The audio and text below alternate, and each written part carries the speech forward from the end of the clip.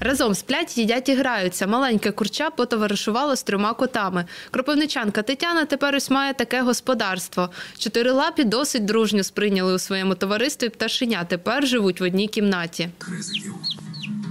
Справді є егоїсти, не Курча у Тамари з'явилося випадково. Дівчина його підібрала на узбіччі дорогою в магазин. Вижу, что-то пищит. Маленький такой, маленький, малюсенький. Ну, забрала його в карман.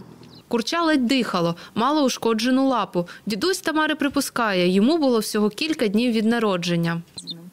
Випало десь щось купив, то ніж та випало.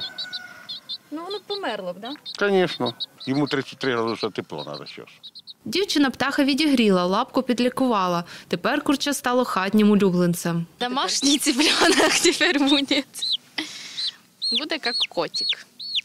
Що курча виросте ручним, цілком можливо, говорить дідусь дівчини. Якщо так нянчиться з ним саму маличку, будуть і, і, на, і на руки буде летіти, і будеш гукати, буде бігти за тобою. Ну, А от півник це чи курочка стане відомо за кілька тижнів. Марія Тарасенко, Юлія Бабак, Валерій Клюєнко, телевізійні новини СІБІН.